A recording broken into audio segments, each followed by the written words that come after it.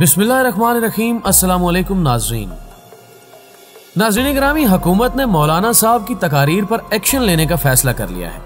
جبکہ مولانا صاحب کے حوالے سے ایک خاتون اینکر نے خاص خبر بریک کی ہے۔ اس کے ساتھ ساتھ چودھری شجاعت حسین صاحب نے بھی اہم پیغام دے دیے۔ کیا عمران خان صاحب کی سیاست کو دھرنے نے نقصان پہنچایا؟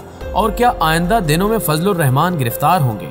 ان سوالات کے جواب جاننے سے قبل چینل پر نئے آنے والے دوستوں سے گزارش ہے کہ پہلے کھوجی ٹی وی کو سبسکرائب کرتے ہوئے ساتھ موجود گھنٹی کے بٹن کو بھی دبا دیں۔ تو آئی ناظرین، چل کر آج کے موضوع کا آغاز کرتے ہیں۔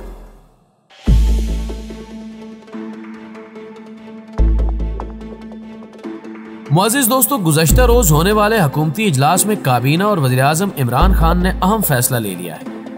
حکومت نے جمعیت علماء اسلام کے سربراہ مولانا فضل الرحمان کی آزادی مارچ میں کی گئی تقاریر پر قانونی چارہ جوئی کرنے کا فیصلہ کیا ہے۔ خان صاحب نے کہا ہے کہ مولانا فضل الرحمان نے مارچ کے دوران مذہب کارڈ کو استعمال کیا۔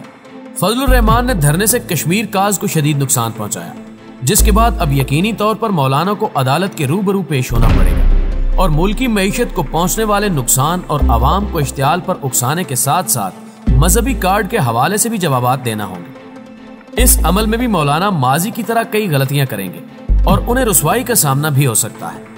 وزیراعظم عمران خان صاحب نے اس سے قبل انتہائی تدبرانہ انداز میں دھرنے کو اپنا کام کرنے دیا، جس کے بعد جب مولانا صاحب کو شکست سامنے دکھائی دی، تو انہوں نے کارکنوں کو منتشر کرنے کے لیے اسے احتجاجی مارچ میں بدل دیا۔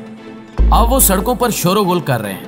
کئی شاہراہیں بند ہیں اور سامان کی ترسیل میں شدید مشکلات درپیش ہیں۔ مارکیٹس میں اشیاء کی کمی کی بدولت مہنگائی کا طوفان جنم لے چکا ہے۔ لیکن مولانا بزد ہیں۔ کہ انہوں نے پاکستان کی معیشت کو تباہی کی جانب لے کر جانا ہی ہے۔ ایک اور خبر یہ بھی ہے کہ مولانا کے ایک قریبی ساتھی نے انکشاف کیا ہے کہ فضل الرحمان کا نظریہ ہے کہ اگر ملک میں مارشل لا لگا دیا جائے اور مولانا کو پکڑ کر جیل میں ڈال دیا جائے تو انہیں یہ قبول ہوگا، لیکن وہ عمران خان کو وزیر اعظم نہیں دیکھ سکتے۔ انہیں عمران خان کی حکومت میں آزاد شہری کی زندگی بھی قبول نہیں۔ اس منطق سے آپ خود اندازہ لگا سکتے ہیں کہ حالات کس جانب جا رہے ہیں۔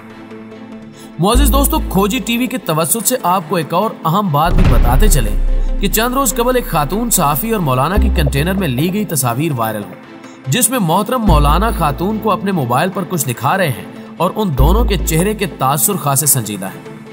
اس تصویر پر کئی افراد نے سوالات اٹھائے تو مجبوراً اس خاتون صحافی کو بتانا پڑا کہ مولانا نے انہیں موبائل پر کیا دکھایا۔ خاتون کے مطابق، مولانا صاحب کو ایک طاقتور قوت کی پشت پناہی حاصل ہے۔ اور وہ عمران خان کے اقتدار کو ختم کر کے ہی دم لیں گے۔ دوسری جانب مسلم لیگ کاف کے صدر چودھری شجاعت حسین کا کہنا ہے کہ پاکستان کی تاریخ میں یہ پہلا دھرنا ہوا ہے کہ جس میں مولوی اور پولیس آمنے سامنے تھے مگر جھگڑا نہیں ہوا۔ نہ تو لاٹھی چلی اور نہ ہی گولی۔